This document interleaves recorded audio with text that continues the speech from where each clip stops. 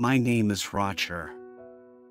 I'm from Minnesota, and I'm a retired forest ranger, having spent the better part of three decades working for the U.S. Forest Service Law Enforcement and Investigations Division. Since my retirement, I've had plenty of time on my hands, and over the past few months, I spent a lot of that time listening to various anthologies that you've published. I think it's awesome that you publish the stories of regular folks like me. So, with that in mind, I think I have a story that you might be interested in. It seems a little strange that I'm so excited to tell you about this, as it's not exactly the kind of thing most people want to hear. I used to wonder how you get so many people wanting to share the bad memories with you. But after having thought about it for a while, I think I figured it out. These aren't the kind of things that we can talk about around the dinner table in polite company, and I've never had a single person ask me in the flesh, what was the scariest thing that's ever happened to you? People don't want to know. At least not the kind of people I've ever associated with. But at the same time, these are things that, for whatever reason, we want to share with people. And much like your channel's viewers, I'm pretty apt to lend my ear to a story that's a little darker. So, without further rambling on, this is the story of one of the truly terrifying moments in my time as a forest ranger.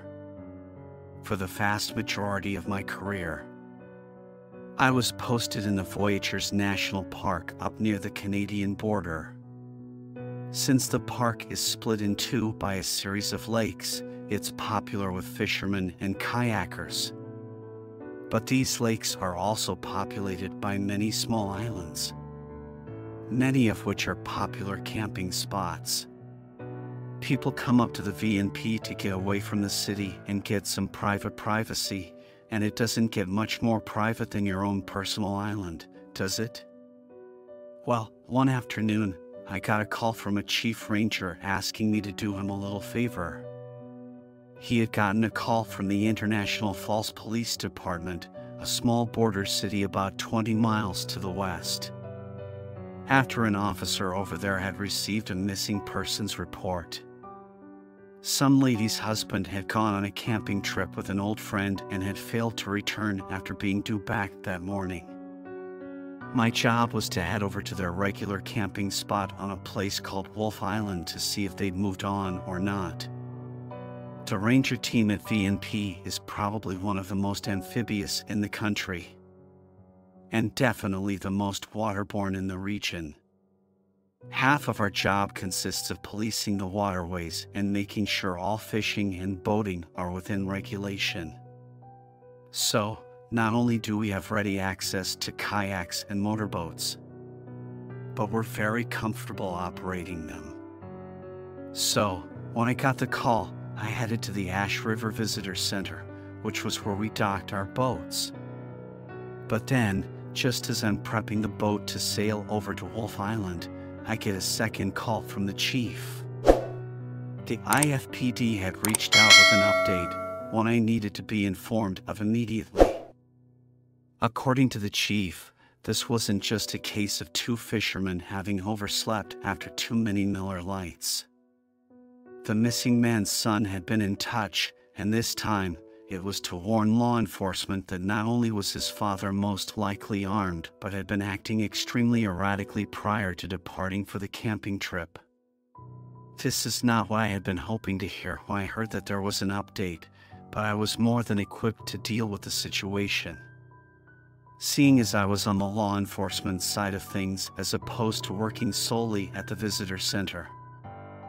I had pretty much all the same options as your average police officer. But that didn't mean that I wasn't feeling a sense of apprehension regarding what I might run up against. Nine times out of ten, incidents in the park are resolved quickly and peacefully, but as you can probably guess, it's the one in ten that keep you up at night. So, after prepping the boat, I sailed west for around 20 to 25 minutes until I spotted Wolf Island. After using my binoculars to observe the island from a safe distance, I could make out a slight plume of smoke coming from its eastern side. I could have really done with some kind of bullhorn to call out to the missing camper. But I didn't have the good sense to bring one. So, I was forced to bring my boat right up to within about 20 or 30 feet of the shore before calling out, using nothing but my lung power. I called out once and then twice. And after the third call received no response, I decided to make landfall in order to get a visual on the campfire, which presumably had been started by our missing camper. I brought the boat up a little closer, hopped overboard, then waded my way ashore, calling out to our missing camper all the while. I could smell the campfire by that point, along with whatever was cooking on it, so I was doubtless within earshot of whoever had been tending to it. But since no one called back and since I didn't see anyone as I walked up the beach, I figured whoever had made camp had moved on. Yet as I walked further onto the island in search of the source of the smoke, something caught my eye. For as long as I live, I'll remember this in photographic detail. It runs in my head on its own sometimes, like someone pressed play on a remote control in my brain. I saw something falling out of the corner of my eye, and when I looked, I saw it was a raven landing to join some of its brothers and sisters. But then I saw what it was landing on. There was a man sitting in a camping chair, not quite upright, but not all the way slouched either, with a big old hole in the upper rear portion of his skull. One of the ravens was pushing its beak into the hole, while a few others fought over whatever had leaked onto the ground. The body accounted for one of our missing campers. But I didn't have to wait long to find the second. Lying motionless next to the campfire was what remained of the second missing camper. Someone had made the effort to cut off his legs, I'm guessing after he was deceased, and had worked on cutting them into small sections before placing them onto the fire. What had been smelling on the way and hadn't been the camper's late lunch, it had been a section of the second camper's leg, sizzling away on the dying embers. I guess the guy in the chair hadn't the art to finish disposing of his camping buddy and had decided to let nature take its course on both of them. We never did find out why it happened, but we did figure out how. The killer had invited his friend on a camping trip to their regular spot. He hadn't hidden anything from his wife or anyone else for that matter which led us to believe that his decision to kill his camping buddy was either a spontaneous one or that he had planned to simply kill him before taking his own life as a way of avoiding any consequences. He obviously wanted to conceal what he'd done, at least at one point we believe he had. But then, this is where another argument for the spontaneous murder theory comes into play. Personally, I don't believe that he'd taken the time to research just how arduous the disposal of a dead body can be. There was no accelerant at the scene, so I don't think he planned to burn his friend's body. And when it became obvious that it was going to take way longer than he thought and that law enforcement might well come looking for him or his dead friend before the disposal could be completed, I think he decided to just check out then and there. There was a somber mood among the park staff for a while after that. As far as I knew, nothing like that had ever happened before, and nothing like that happened again for the remainder of my career. As you can probably guess, national parks aren't exactly high crime areas, and at the VNP, the most intense things generally get is catching up to a speeding boating party so you can tell them to slow down. So, to have something so terrible happen right under our noses. It had a real strong effect on our mood during the weeks that followed. Sometimes I think about what happened in that guy's head to make him want to murder one of his best friends. Like I said, we didn't hear about any affairs or betrayals or anything else that might cause a man to temporarily go crazy. It's all just one big mystery. And like so many other of life's mysteries, I think I'm a lot more comfortable living in blissful ignorance.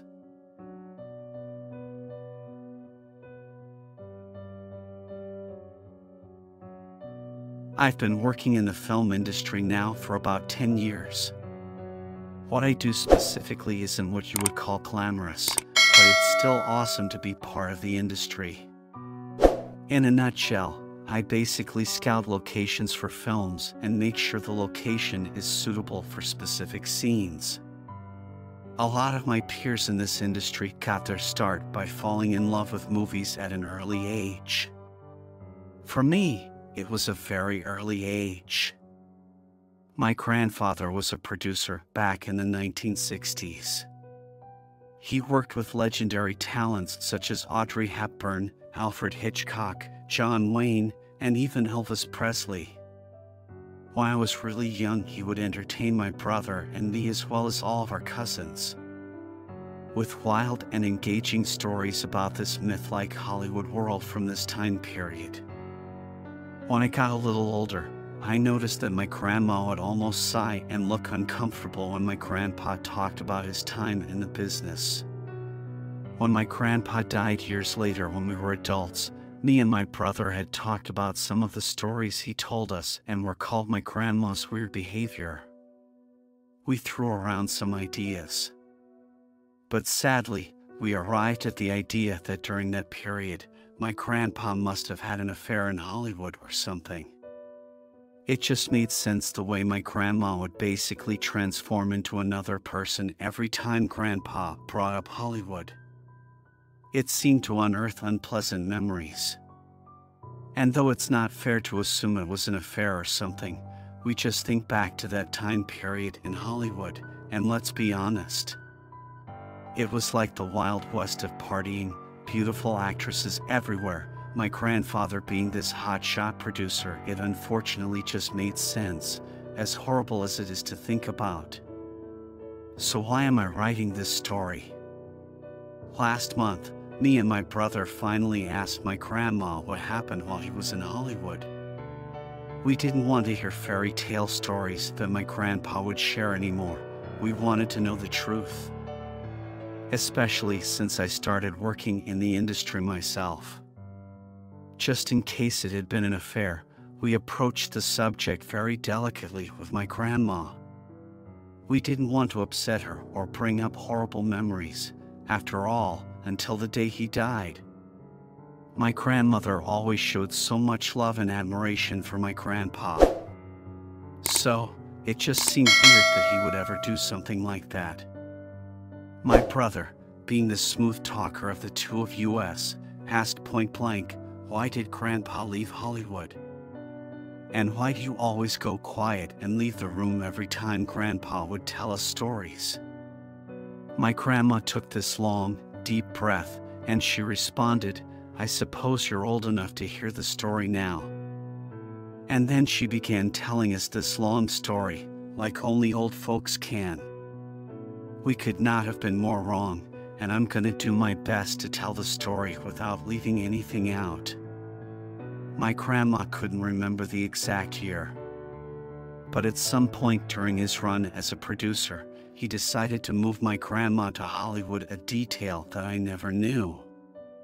When she was in her early 20s, she was an aspiring actress, and she was beautiful. Grandpa used his connections to get her some auditions and a chance to meet some of the big players in town. Grandma didn't want anything handed to her, though, so she used a different last name and never used my grandpa's name in an audition. She wanted to get a part based solely on her talent and not because she was married to the producer of the film, an aspect I greatly appreciated. After several failed auditions, she was almost ready to move on from her dream and try her hand at modeling, since she had some offers. She went on one last audition for a supposedly big film opportunity. And she told us that Grandpa was skeptical of this audition because he had never heard of the director or the film. But my grandma was being stubborn and told him to trust her, that she knew what she was doing. On the way to the audition, she got lost and found a rundown building way on the outskirts of town. I guess she was so new to the area that she didn't question the location at all. She thought that maybe this location was a creative choice by the director and maybe he had an office in the building. She walked in the door, and inside were four individuals three women and one man.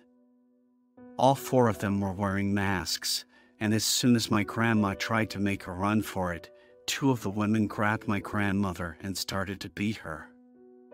After a few minutes, they tied her up in a chair. One of the women told her that if she wanted to survive, she was going to have to do something for them. If she refused, things weren't going to end well. So Grandma agreed, hoping that she could find a way out of the situation somehow. The woman continued to explain to my grandma that she was going to rob an apartment for them. The four monsters in the room told her that they would be outside the building, and if she tried to call for help or run, they would know and they would find her and catch her. The woman explained all the details of the robbery to my grandma, and she played along for a moment, realizing that this may be her only chance to survive. She assumed that once she was inside the apartment, that she could find a phone or even better, the person would be home and she could explain what was happening. They arrived at the apartment building, and my grandma's plan went out the window. The man in the group accompanied my grandma into the building and followed her down the hall. He was carrying some type of pipe in his hand, and she had the sick feeling that the pipe was for her. The door was unlocked, and they went inside. They gave my grandma a cloth sack and told her to fill it with cash. They assured her that there would be cash on a table inside the room, and sure enough, they were correct. My grandma started to slowly put the cash into the bag as she tried to think of a way out. The man shoved her and told her to hurry up. When she was filling up the bag, she noticed a vase on the table with some flowers in it. She grabbed the glass vase, smashed it on the man's face, and ran out of the apartment. While the man fell to the ground, she noticed it was a back entrance to the building and sprinted out that back door. She ran several blocks and then found a cop car parked in the lot, and she frantically approached the police and told them everything.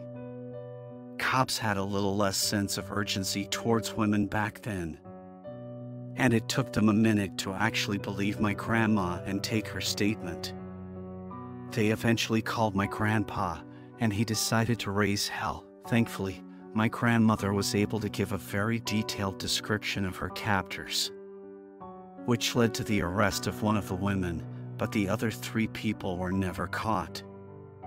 She never found out whose apartment it was, but she assumed it belonged to someone in the dark underworld of Hollywood at the time. The woman they arrested admitted the plan was to knock out my grandmother inside the apartment after she filled the bag and basically pinned the entire thing on her. They didn't plan on her escaping or having a powerful husband. They assumed that she was some young actress in Hollywood, and getting caught at the scene of the crime would just make her another poor soul getting lost in the dark world of show business.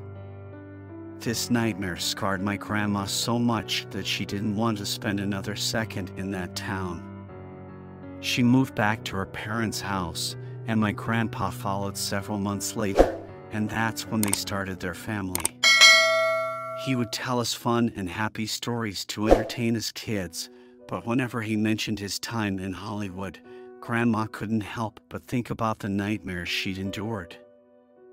I can't imagine what my grandma was thinking during that ordeal, and I'm just so happy that she was able to get out of it and find a little bit of justice. As for the three other monsters from that night, I just hope they got caught for something else, and justice was eventually served.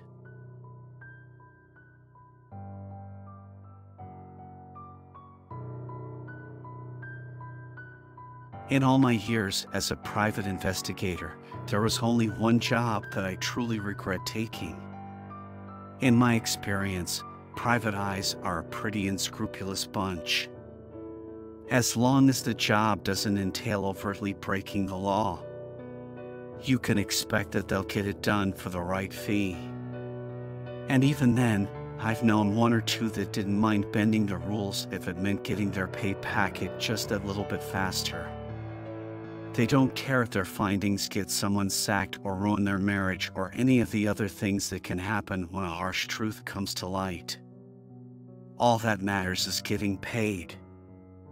I can't say I conducted myself much differently during the second phase of my investigative career, the first being bound by the rules and regulations of the Metropolitan Police. But I was definitely pickier than most concerning which jobs I did and didn't take.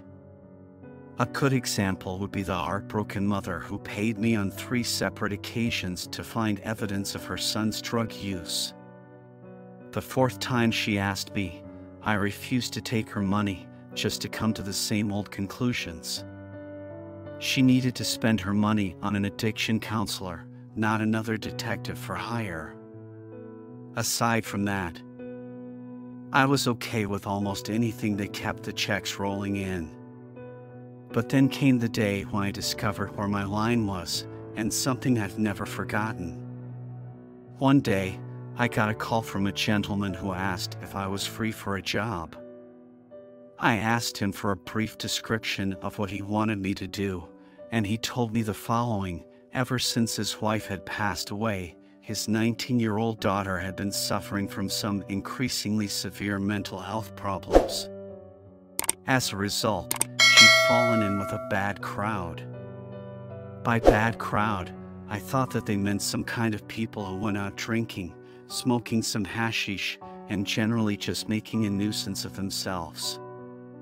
The man then confirmed that his daughter had been drinking and using drugs. That wasn't strictly the issue, though. The issue was that she'd run away to join what he described as a cult. His daughter had been in a terribly vulnerable state following the death of her mother, and the gentleman who called blamed himself for not being able to provide the right support due to his own grief induced depression. The result was his daughter seeking paternal support elsewhere, and as it happened, she'd thrown her lot in with a group that was actively exploiting her for their own gain. I essentially cut him off at that point, as I'd already made up my mind to take the job. I then invited him down to my office to give me a more detailed rundown of the situation while providing me with any recent photographs of his missing daughter. The man who arrived at my office the next morning was about as unremarkable as you can imagine mid 40s, graying hair, fleece jacket, average as can be. But when you got to look at his face, I mean, really looked him in the eyes, it was almost like he could see how the grief and stress had been eating away at him. At least that's what I thought it was at the time. He provided me with some photos of his daughter in her younger years. But then he showed me some more recent photos, and the difference was night and day. She looked incredibly unhealthy, with big dark circles under her eyes. The picture had been taken from social media, so she was posing and smiling in it. But you could tell how much she was suffering just from how pale and frail she looked. The man's daughter was posing with a friend of hers, but when I asked, her father said that she wasn't part of the suspected cult and that he'd be happy to put me in touch with her. The girls had been friends ever since they were children, but his daughter had become increasingly withdrawn from her regular social circle prior to her disappearance. This meant that although she wanted to help, the friend had no idea where the man's daughter might have gone, only who she might have left with. The girl showed me a fairly recent group photograph that had been taken at some kind of party. Not everyone was facing the camera. In the background was a boy that the missing girl had apparently been dating in the run up to her disappearance. Her father had asserted that the boy was part of whatever cult she joined and had, in fact, been the one to convert or induct her. The girl's friend said that she wasn't aware of any cult but admitted that the boy had a lot of dark interests and had once boasted of an extensive collection of books related to serial killers and other such crimes against humanity. He also seemed very possessive and protective of the missing girl, something that struck the girl's friend as what she referred to as a red flag. Since her disappearance, the man's daughter appeared to have purged her social media presence but her new boyfriend had not. And since he was classified as an open register on the local electoral roll, I was able to get a hold of his last known address with relative ease. Now, this isn't strictly how I got his address. But I'd rather not incriminate myself publicly, thanks. I then found myself at a small, rundown council estate, one that was made up almost entirely of what were, at the time, newly built flats. You can always get into these places by just buzzing every buzzer. Someone's always expecting a pizza or a visitor or something, and even if they're not, they'll buzz you in out of sheer curiosity. I suppose that's why all of these things have got cameras now and can only let so many burglars in before the technology is forced to advance. Anyway, I got up to this guy's flat, knocked on the door, and was there banging away for a good few minutes before a neighbor came out and told me that the occupant had moved on. I asked the neighbor if she had any idea where, but she didn't. She told me that she barely spoke to the boy. And then one day, all the stuff was in bin bags or boxes, and he and the girl had been loading them into a van. I then showed her a picture of the man's daughter, and she confirmed that it was the same girl who had helped her neighbor move out. Anyone else might think that the trail had gone cold, but since I had his name and since I knew the lad was claiming benefits, it was once again relatively easy to get a hold of his new address. I simply called up the local job seekers. Told them that I was a potential employer but that I needed his address for a background check, and Bob's your mother's brother. I knew where he lay his head again. Misrepresenting yourself like that isn't strictly legal.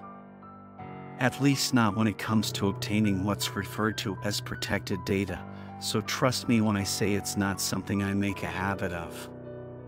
But like I said earlier, I felt absolutely heartbroken for this guy and his missing daughter. And I say that as the father of daughters myself. Every family goes through hard times, and every parent makes mistakes.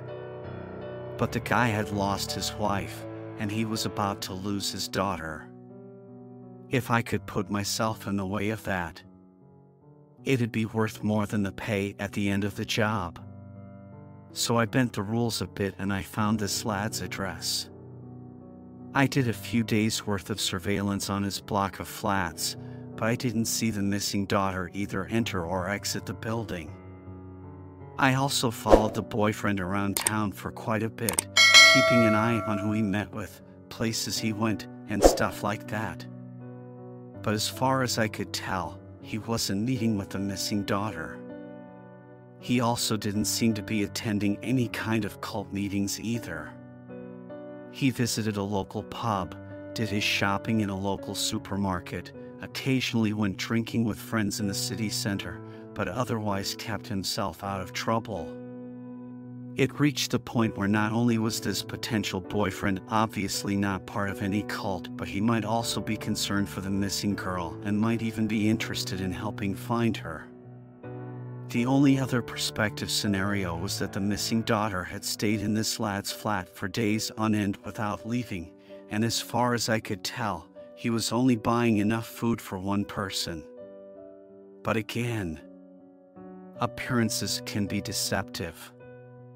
He could have just as easily been keeping a real prisoner, maybe feeding her very little, all part of some deranged course of brainwashing to induct her into the cult.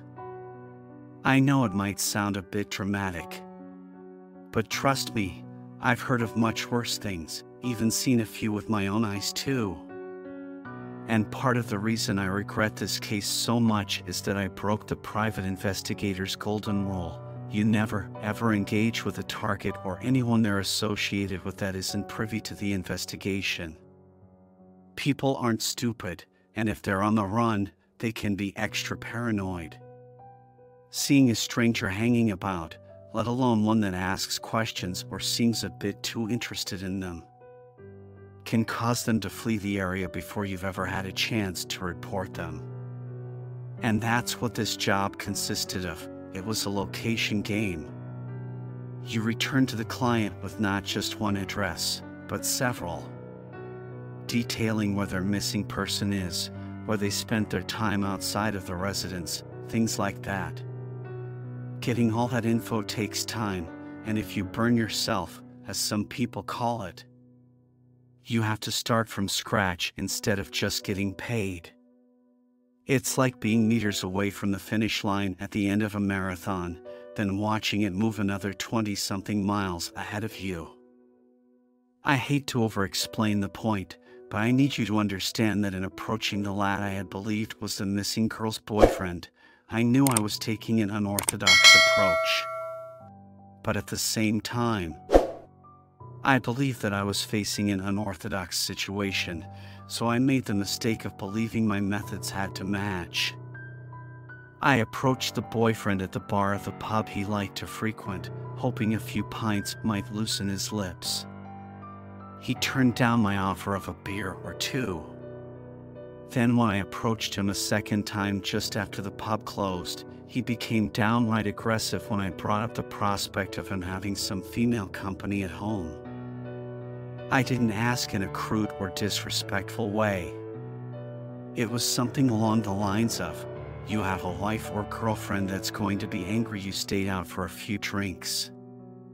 He said no, then when I probed a little more, he became extremely aggressive and accused me of one or two things I'd rather not repeat.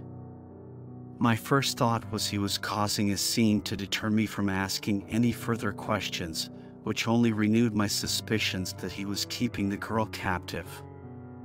This resulted in me casing his place for a few more days, brainstorming ways to look inside his flat. But then one night, the entire case climaxed with what was one of the most horrifying evenings of my entire life. I was parked opposite the boyfriend's block of flats, not immediately outside of it, but still in a position where I could see everyone going in and out. A taxi pulled up outside. So I cracked my binoculars to get a look at whoever was getting out or getting in. Went out from the block of flat steps a person I'd never seen before. I've been keeping track of anyone and everyone who walked in or out of that front door. Working out who lived there, who was just visiting, what time certain people departed or arrived home from work.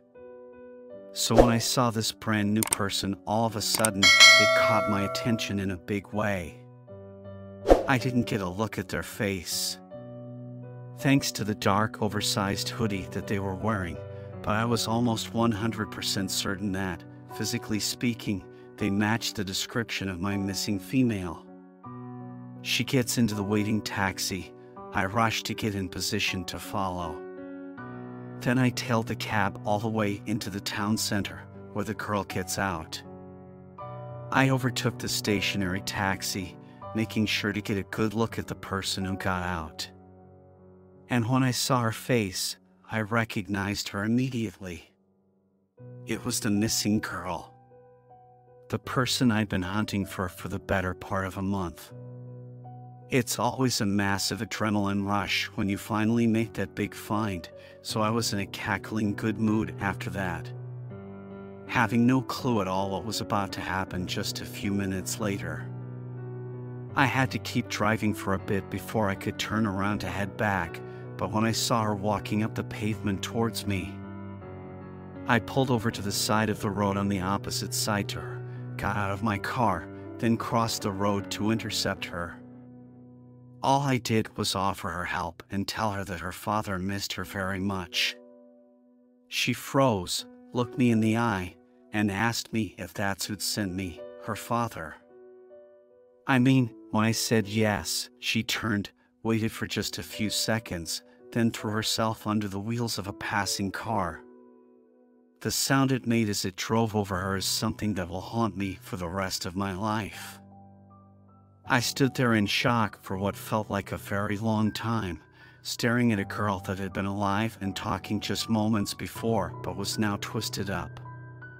Barely recognizable and almost certainly deceased. I think I took my phone out and dialed 999 almost subconsciously because when I heard the operator's voice in my ear, it's like it brought me out of the deep daze. The ambulance crews arrived as quickly as they could, but from what I could tell, there was nothing they could do for the poor girl except cart her off to the coroner. She was gone. There was no bringing her back. As much as I could have let the police do their job, I took it upon myself to deliver the bad news to her father. I'm not sure what I was thinking. And this last part only adds to the deep sense of regret that I feel regarding what is undoubtedly the worst case I've ever dealt with. But it wasn't the act of telling him that I truly regret, it was seeing his reaction.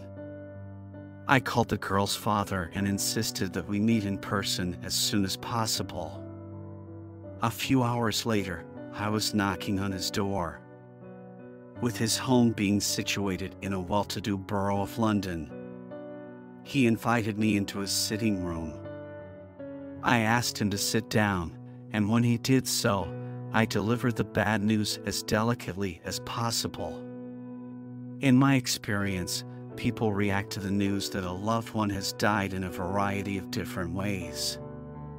But without a doubt, the worst reactions come from parents who find out that they've lost a child. It's a pain I can barely even imagine. But when I told my client that his daughter had been in an accident of her own creation and that she was most likely deceased, he barely batted an eyelid. I could tell that he was trying to conceal his emotions. But if those emotions were grief, it was unlike any type of grief I'd ever seen before. If I'm being honest, it looked a lot more like relief or satisfaction than shock or grief. And to this day, I'm very haunted by it. I think I was too shaken up at the time to really think about what I was seeing. Despite my many years in policing and PI work, I'd only ever seen one person killed before that night, and it wasn't anywhere near as brutal or shocking a fashion.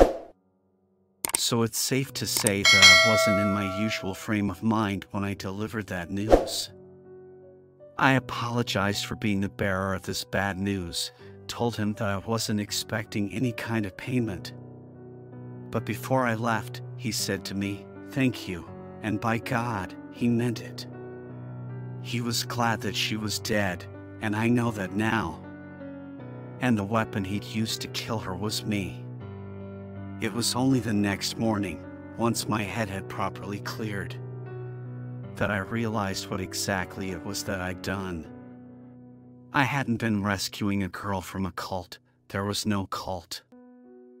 I think a deeply abusive father had hired me or more accurately, tricked me into tracking down his daughter who'd made a very courageous bid to escape him. Then, when she realized that he'd never just let her go, she decided to take her own life rather than face the prospect of seeing him again.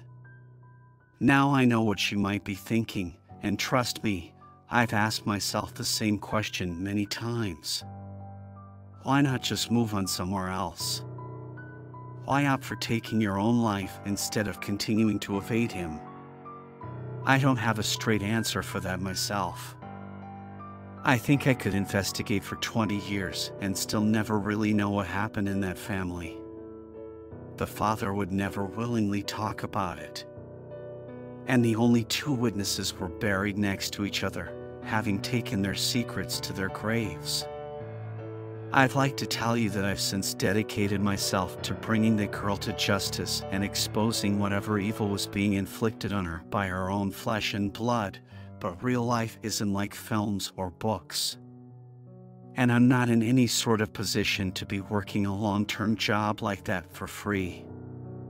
I suppose I could try and maybe crowdfund it or something.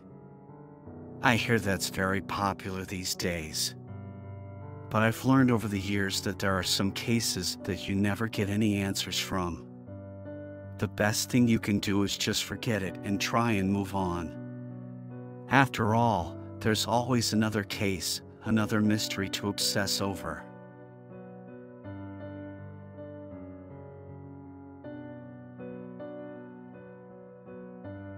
This is something that happened when I was a kid.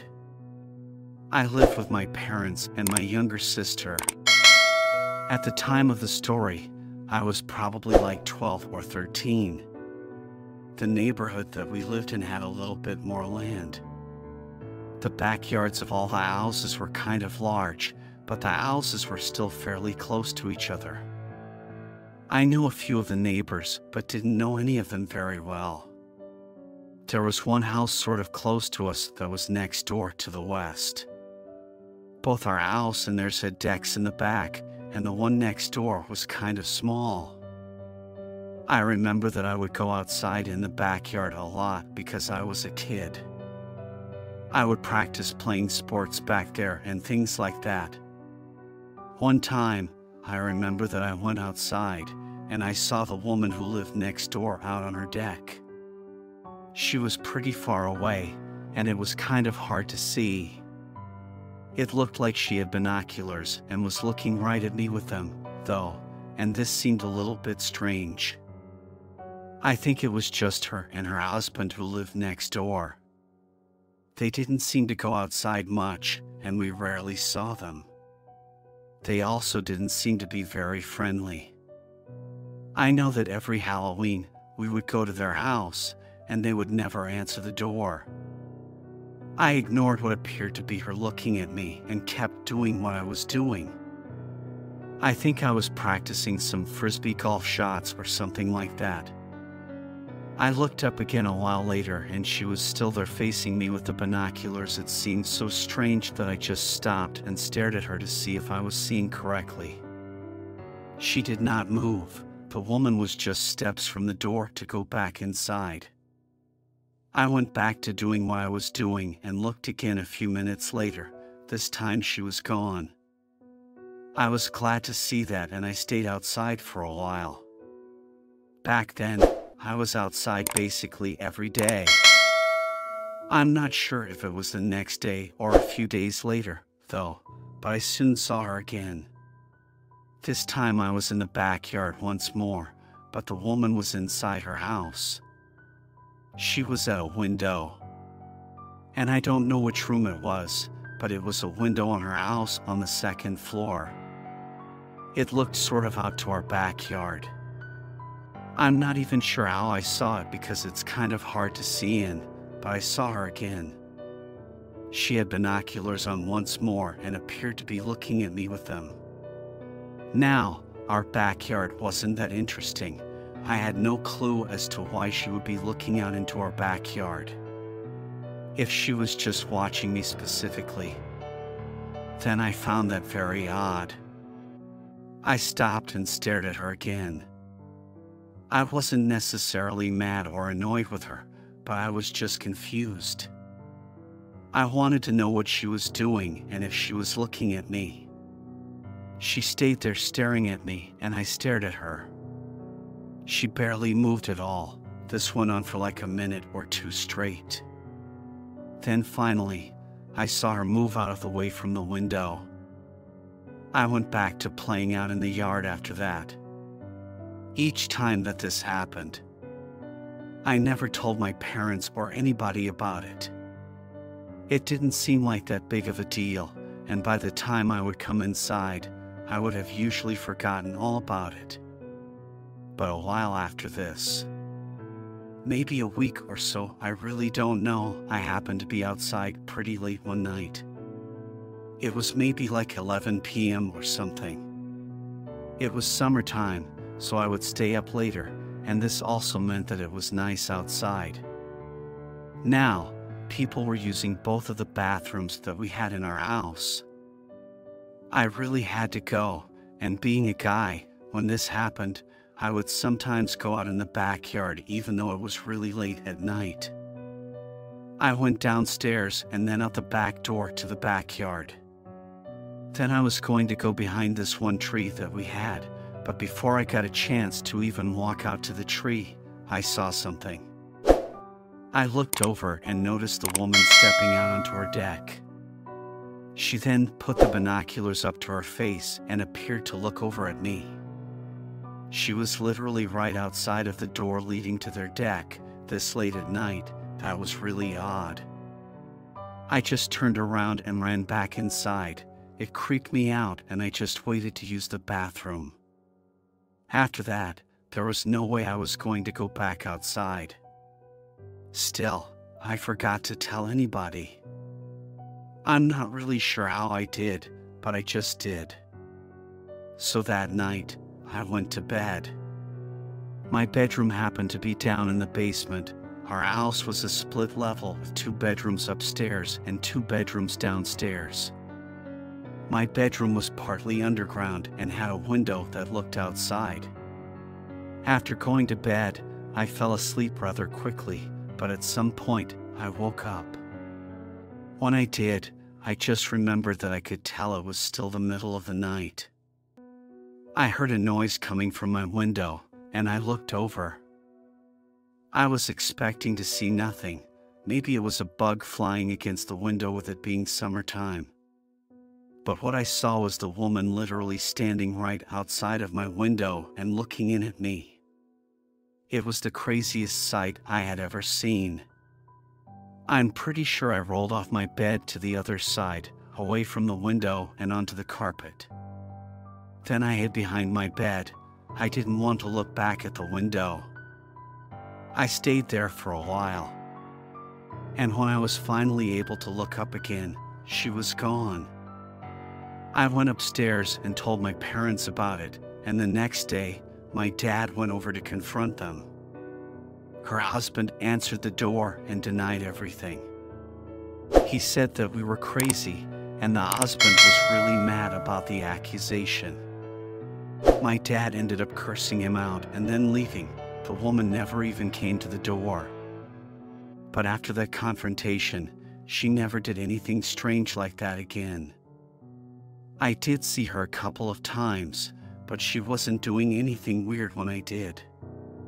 Those people moved away like a year later, and a new family moved in. I still think about how bizarre that situation was, though. Sometimes this is something that happened in the last apartment that I lived in. I moved into it in June of 2021 and lived there for two years before moving. After I'd lived there for about a year, I had a new neighbor move in next door. For some details on the apartment building, it's relatively new and was built, I believe, less than 10 years ago. I lived on the second floor and was the right before last unit on one end of it. The building has just straight hallways with units on both sides. My apartment had one bedroom, one and one half bathrooms, a living room, and a kitchen. The new neighbor next door got the very last unit on the end. In my time living there, most of the other neighbors were very friendly. I got to know almost everyone who lived on my floor. The person who previously lived next to me was very nice, and we would talk sometimes. A man moved in who didn't seem to be quite as friendly. I just talked to him once, shortly after he moved in. I didn't really see him much after that at all, though, maybe like once or twice, but I can't specifically think of a time that I did probably like six months after the new neighbor guy moved in next door, I was up sort of late one night. I heard some pounding on the wall coming from his side. It wasn't that loud because the walls seemed to do well with holding sound, but I did hear it. I figured maybe he was hanging something on the wall and didn't pay it much thought. However, probably the next night, I was actually woken up hearing it again. It was a little bit louder this time, but I'm also a light sleeper. I tried to just go back to bed, and eventually, I did. The very next night, though, I was woken up again, this time in the middle of the night. I woke up to some sounds coming from my bathroom area. The bathroom is connected to my bedroom, and the door leading to it was mostly closed. All the lights were out, so when I looked around, I couldn't see anything. I was sitting up in bed, trying to figure out what it was that I was hearing. I was also a little bit confused from having just woken up, but then I realized what I was hearing. Somebody was in my bathroom. How they got in, I had no clue. I was sure that I had locked my doors. Then I started to hear footsteps. I jumped up from my bed and only grabbed my phone. Then, on the way out, grabbed my keys and ran completely out of my apartment. I kept running down the hallway and went down the stairs. When I had made it all the way out to my car, I called my best friend. Thankfully, she was actually still awake. It was like 1 o'clock in the morning. She let me come over and stay at her place for the rest of the night. The next day, we went back to my place. We carefully looked around, and I was expecting the worst. I thought maybe it would be all messed up and a bunch of my items stolen, but surprisingly, everything appeared to be in place. Nobody was inside the apartment at all. And nothing was stolen. I was so confused because I was sure that I had heard somebody in there the night before. My friend asked me about everything that happened. As I was telling her, I walked into my bathroom to where I heard the noise. I'm sending an actual picture of my bathroom so that you can see and get an idea as to what it looked like to describe where I heard the sounds. I realized it was near my shower, next to my shower. To the right is a very large storage cabinet, or maybe you would even call it a closet. I didn't use it much at all, I just stored extra towels and blankets in there. That's kind of where I heard the noises, and I opened it up. When I did, I saw that some things in there were actually a little bit out of place. Then I moved a towel and saw that the wall had a significant crack in it. At least that's what I thought it was. I hadn't remembered it looking at all like that before. On the other side of the wall was my neighbor, the new guy. That's when I realized that he might have been the one in my apartment. I moved the crack a little and realized that a big chunk of the wall could be removed. Horrified, I moved away from there, and my friend and I left. We called the police and apartment management. They did an investigation, and the guy later admitted to creating a hole in the wall and entering my place. He never said what his intentions were, though. I'm glad that I didn't have to deal with him for the last few months that I lived there. But I ended up moving when my lease was up. I just couldn't live there anymore after what had happened. I'm also really glad that I heard the sound when I did and was able to leave my apartment so fast.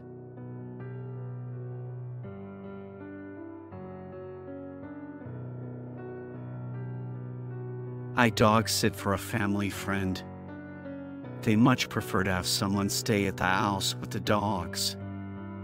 I grew up in a town in the middle of nowhere, and I love the countryside, so for me, this is like a station cause I live in the city now.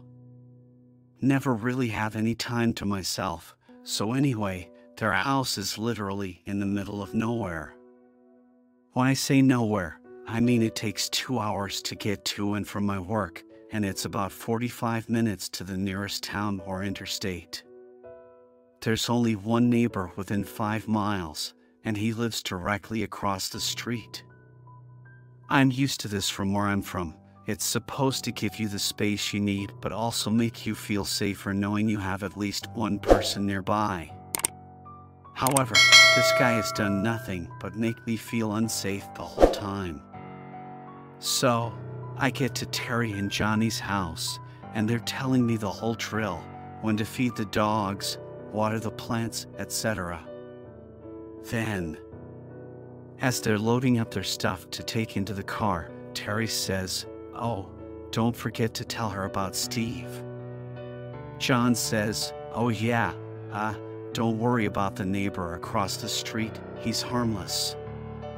The guy drinks a lot and is a little bit off, but totally harmless.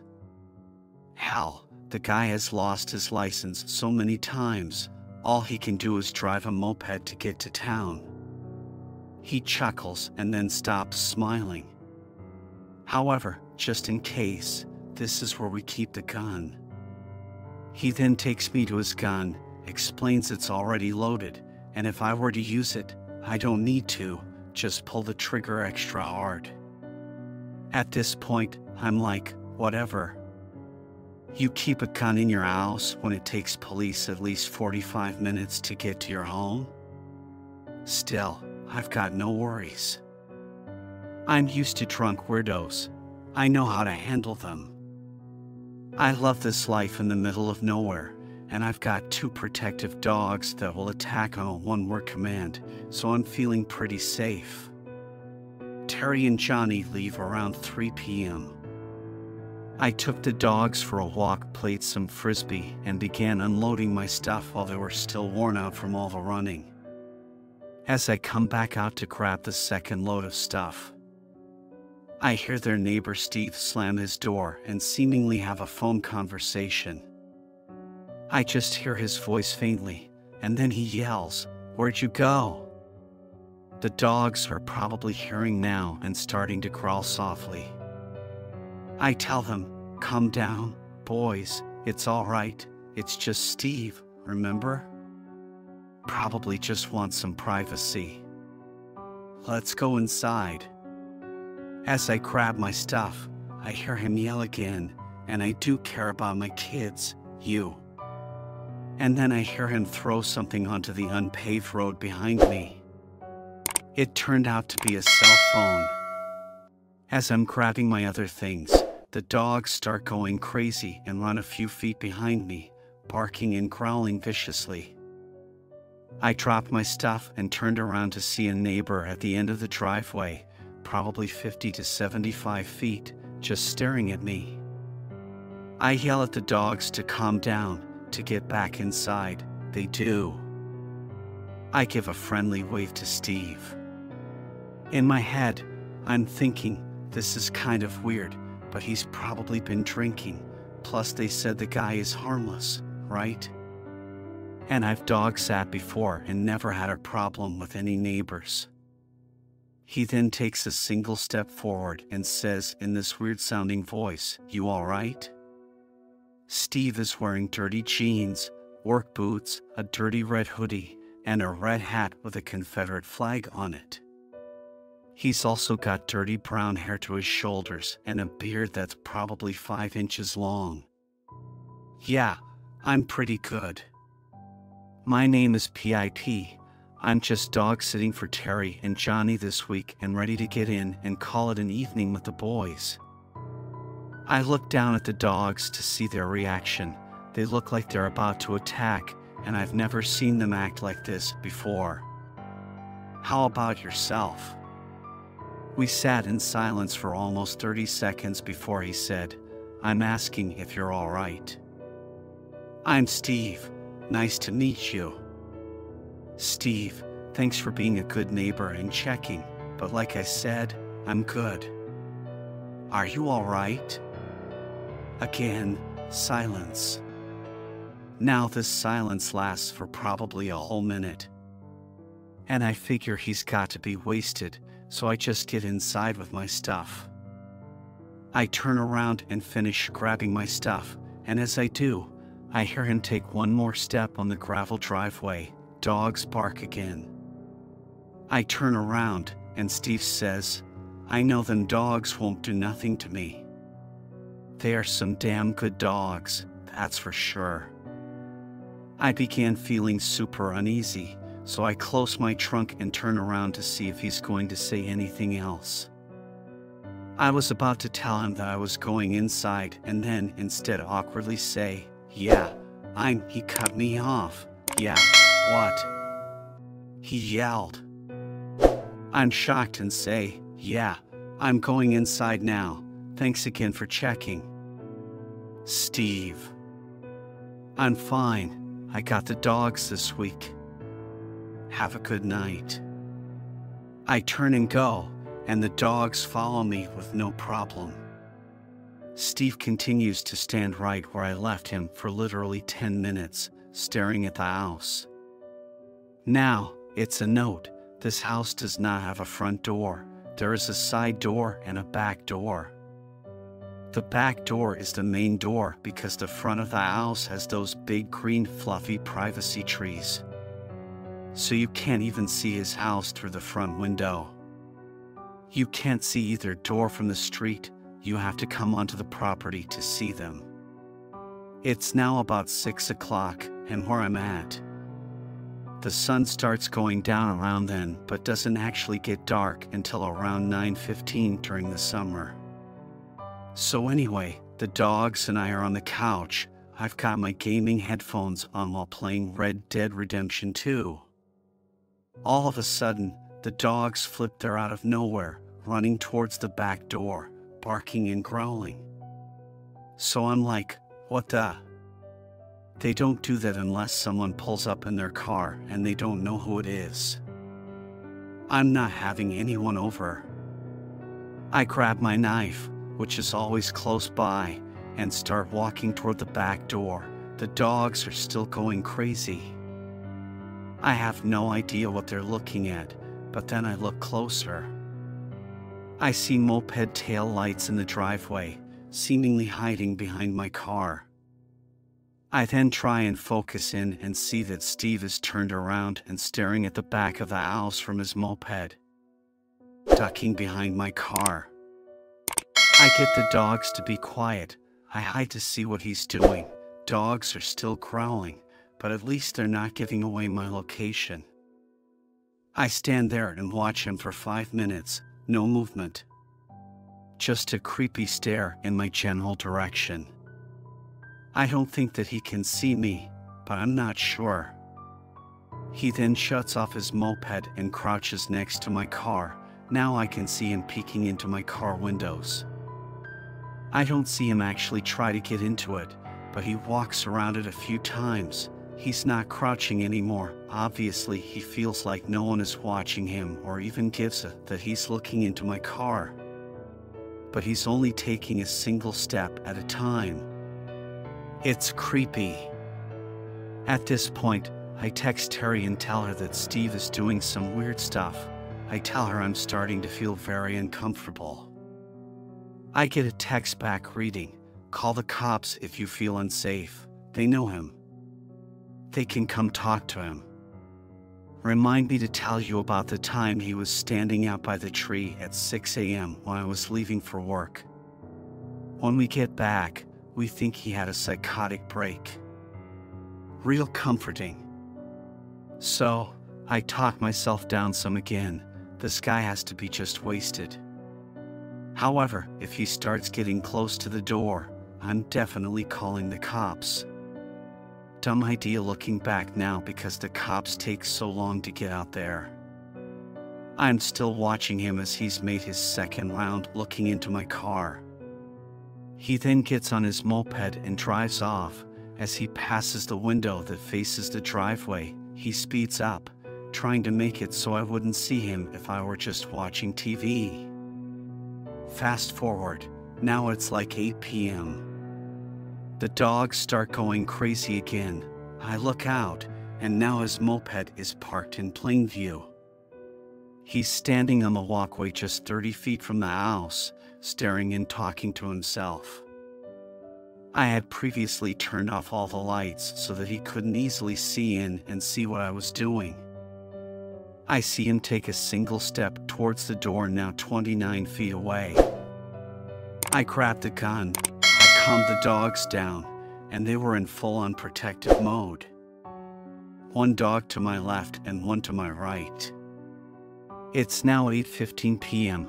I called the cops. I explained the situation and that the owners think he had some kind of psychotic break. As I'm halfway through explaining why I'm starting to fear for my safety, the operator says, Ma'am, what is your address again? I tell her, Oh, I'm sorry, ma'am, but you're not located in our county. We'll have to transfer you to the next one. Are you serious? The owner said that the cops in the South County know him very well and know how to handle him. Isn't that you guys? Yes, ma'am, that is us, but you're located in a different county. That's not our jurisdiction. The guy who is bothering me lives in your county. That's why I'm calling you. Operator then transfers me to another county. When she answers the phone with, average 911, what's your emergency? I'm silent. I'm looking out the kitchen window. Steve has come up another 45 feet since the last. I looked out. 911, what's your emergency? I then explain what's happening. I explained that I was transferred because apparently I'm not in their jurisdiction. She tells me to remain calm, turn on all the lights, and I said that this guy is waiting for me to do something like that. The doors are locked, and I do have a firearm. If he enters, I will shoot.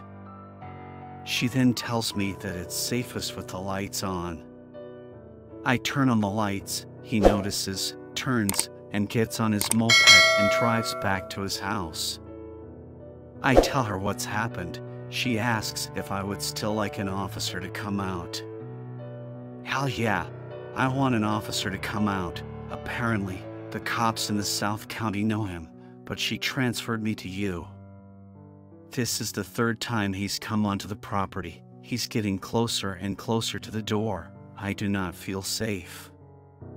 Someone that is not me needs to talk to this guy. Calm down, ma'am. We will still send someone. However, based on where you're located, it will take a while for one to get out there. That's fine. I just want someone out here. Thank you. I asked her if she would stay on the line until he got here or no she said that one's on its way out but she needs to be available if anyone else calls in. She told me if he came back and I was still uneasy to call them without hesitation. Now it's getting around 9 p.m., the sun is getting ready to completely set again, and the dogs go crazy. Now I'm getting really pissed off. I'm walking around the house with a loaded gun so that if Steve sees me, he sees that gun too. I look out the window and see his head, but I don't see him. What? Where is he from the window in the kitchen? I can't see the back door. So I go upstairs. One dog follows, the other is too old to climb stairs. And I go peek down through the bathroom window. Steve's on the back porch, lighting matches and throwing them down onto the wooden porch. He doesn't seem harmless anymore, he's talking to himself twisting his head back and forth like he's getting warmed up to fight or having a conversation with another one of his personalities or something. I started filming him from the upstairs window just in case I died. You know, so that I could hide my phone, and when they found it, they knew it had to be this guy. The sun is down, and it's starting to get dark. He steps up to the door and starts knocking. He then starts pounding on the door. I'm pretty good at staying calm in situations, but my heart starts beating so fast that my Fitbit had to change my heart rate tab every two seconds. If he gets in here, I'm going to have to kill this guy, or he's going to kill me. I could see pure hatred in this guy's eyes. He then stopped pounding at the door, quickly turned away, ran back to his moped, started it, and took off faster than I thought a moped could even go. Not even a minute later. The cop pulled into the driveway, I'd mentioned to the dispatch operator that I do have two dogs who would bark at the officer but would not attack unless given a specific word. They are trained, and I do have a firearm. I'll leave the firearm inside when I go to meet the officer. I met the officer. The dogs didn't growl, simply gave a single bark apiece to let me know that someone was there. I went outside to meet him and told him that the guy just took off on a moped. He said, Oh, yeah, I think I just passed him when I turned onto the road. I explained that he was absolutely drunk or crazy, and if he saw him on his way back, he should definitely pull him over because I'm quite positive he's definitely under the influence of something. Normal people just don't act that way. The cop basically shrugs everything off and says, Well, are you going to stay the night here? I told him no, I'll leave the dogs overnight and come back in the morning. I asked him to stay while I packed everything up, and he nodded. I go inside and give the dogs love and treats and crate them for the night. I take off and return the next day with my father. My dad starts to walk the perimeter of the property, trying to show Steve that there is also a man staying there. Now I'm a 24 year old female, if you're wondering. Then Steve, wearing that same dirty outfit and hat while holding a 24 case of Budweiser, is just standing at the end of the driveway again. I'm watching him from the front window. I see my dad at the other end of the yard as he comes into view. Steve turns around and walks back into his house. I later learned that Steve had been to jail multiple times due to domestic abuse. His kids were not allowed to see him due to his violent nature. And he bought a four wheeler. No one knows how he gets the money to get these things. Terry and Johnny have never seen him leave for work. They've only seen him leave on his moped or four wheeler, then an hour or two later, return with a case or two of beer. I don't know who he thought I was, but every time he looked at the house in my direction,